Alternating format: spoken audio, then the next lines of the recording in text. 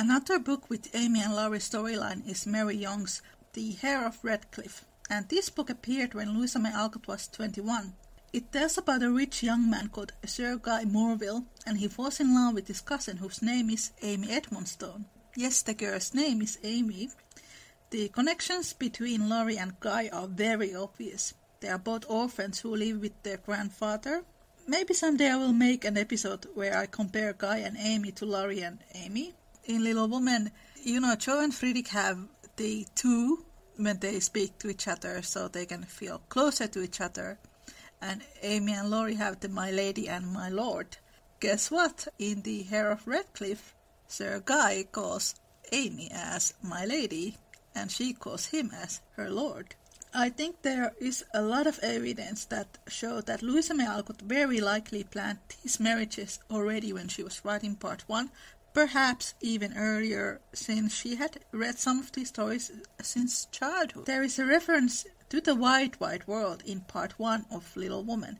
It is mentioned in one of the early chapters that Jo was reading and crying over the Wide Wide World in the apple tree. So we have 15 year old Jo March reading a story that has very clear Jo and Friedrich storyline in it. Then in the chapter Laurence Boy Jo has been reading The Heir of Redcliffe, which has the Amy and Laurie type of couple. I rest my case. And if you don't believe me, just read Little Woman, it's all there. And just to let you all know, I have started a new Instagram account. It's called Podcasting Little Woman. If you like this podcast, do come and chat with me there as well. And I dedicate this to all of you who, who would like to see Laurie's growth process in the adaptations as well. This is Small Umbrella in the Rain, Little Woman podcast, Laurie's proposal to Amy, deep analysis.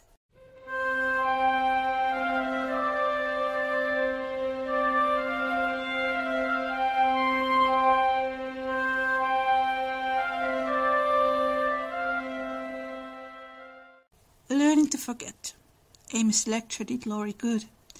Though, of course, he did not own it till long afterward. Men seldom do. For when women are the advisers, the laws of creation don't take the advice till they have persuaded themselves that it is just what they intended to do. Then they act upon it, and if it succeeds, they give the weaker vessel half the credit of it. If it fails, they generously give her the whole. Laurie went back to his grandfather and was so dutifully devoted for several weeks that the old gentleman declared climate of Nice had improved him wonderfully, and he had better try it again. There was nothing the young gentleman would have liked better, but elephants could not have dragged him back after the scolding he had received.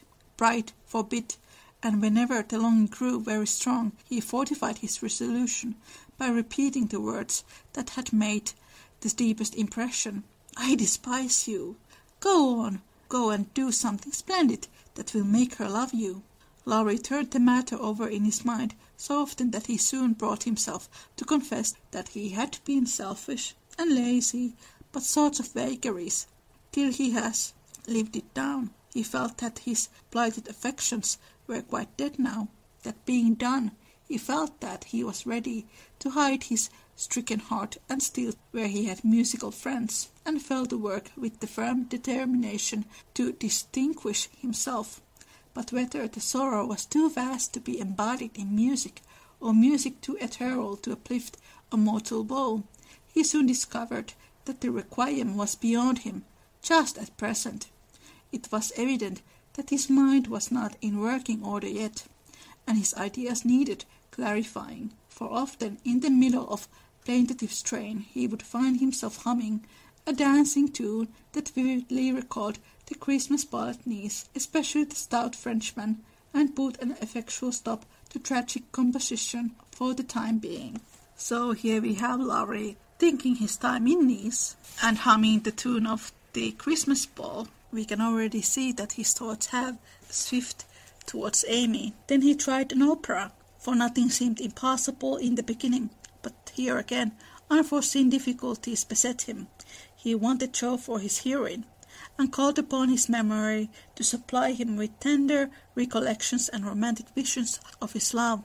But memory turned traitor, and as if possessed by the perceived spirit of the girl, would only recall Jo's oddities, faults, and freaks. Thank you so much for listening. Link to the full episode, Laurie's Proposal to Amy, Deep Analysis, is in the description. Take care and make good choices. Bye.